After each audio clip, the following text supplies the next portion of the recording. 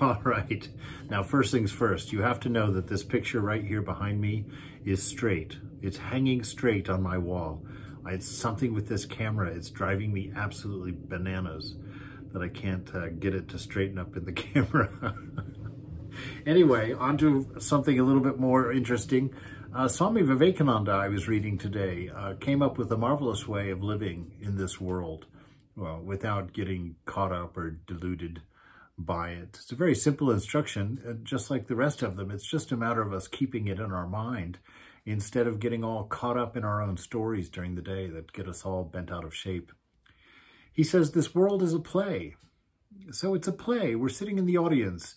Yourself, this image of yourself that's behind your eyes, that which watches your mind, watches your body, listens to your ears, that, that unchanging self is in the audience watching a play, and the play is happening in its mind. The play is happening in its body. And the story is being told by this mind and body, very much like the play on the stage.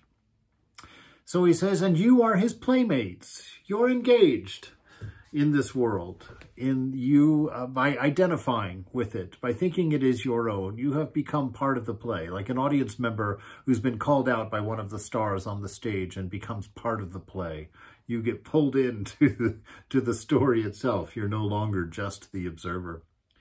And he says, go on and work without any sorrow, without any misery. There's a tall order.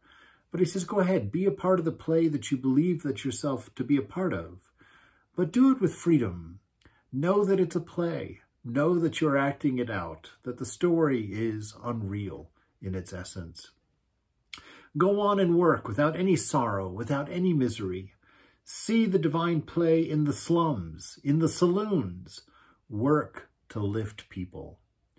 So that's your role in the play. Work to lift people. Look around you. See and think and create ways of lifting others higher, of being a help uh, to this world, to being your own beautiful self, your gift of love, your gift of service, your gift of wisdom to this play around you.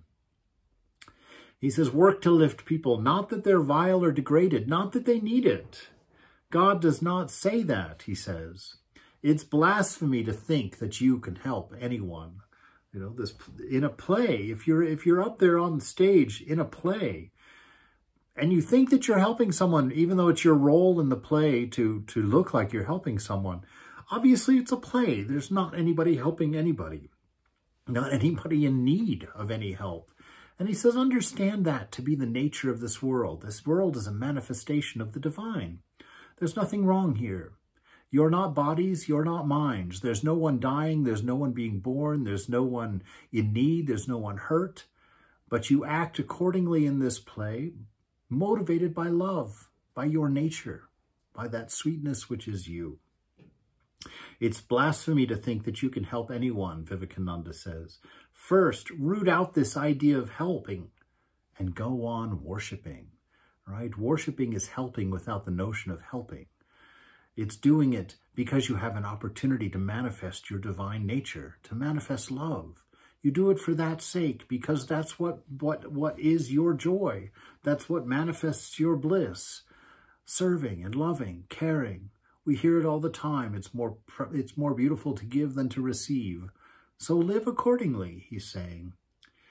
God's children are your master's children. You're related to everybody here. You are all children of the divine, manifesting this pure love. So see everybody as your own. There are no strangers here. He says you are his servant, the divine, of the divine of God. Serve the living God, not an imaginary being somewhere up in a painted sky, not some old man reaching his finger down to touch Adam. but serve the living God. Who is the living God? You are the living God. Everyone you know, every living being, everything, every element of this universe is the living God. Serve it all in an attitude of worship, an attitude of deep appreciation and love, adoration. See the divine in everything and worship him by loving the person sitting next to you, loving the cashier, loving the bank teller, loving the rock, loving the beautiful sun, loving the stray dog. It's what he's telling us. You are his servant. Serve the living God. God comes to you in the blind. God comes to you in the poor, in the weak, in the diabolical. What a glorious chance for you to worship. The moment you think that you're helping, you undo the whole thing and degrade yourself with ego. With ego, that's how you degrade yourself. You take on that idea of me, the doer, and you have to be good enough to help. You have to be better than someone to help them. So you see the egoism that is born. And after a while, you've helped that person and they're so tired of you constantly helping them, they begin to resent your love and your service because it's egoistic, because you're doing it to help them and not just because it's your nature to love and to care. The moment you think that you are helping, you undo the whole thing and degrade yourself. Knowing this work, what follows, you say? You do not get that heartbreak, that awful misery. That always attends egoistic work. You know, when you're helping that person and they begin to resent you, and then you think, how can they resent me? I've done so much for them and I've got so much more to give. I'm not going to help them anymore. And then your love is spoiled by ego. You stop serving because you're not getting the appropriate response, the appropriate gratitude, the appropriate payment. You see, if you don't understand the nature of the game, if you think you're separate and apart from the whole and that it's you that's helping, it's you who's better, who needs to serve. Ah, nah, you've lost the point. You're going to suffer.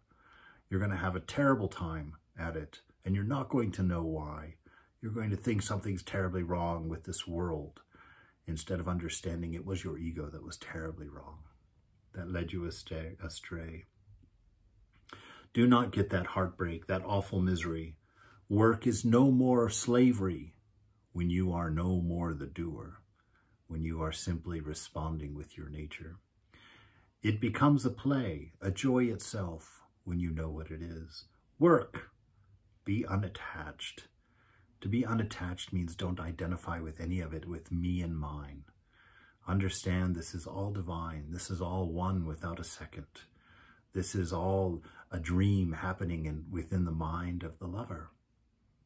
Know it. Nothing's being done. Nothing's being undone but play your part, play it with zest and play it well. It becomes a play, enjoy itself, work, be unattached. That is the whole secret, Swami Vivekananda says. If you get attached, you become miserable. So play in this play of the divine. You are that divine, unaware, thinking that you're this small, limited self.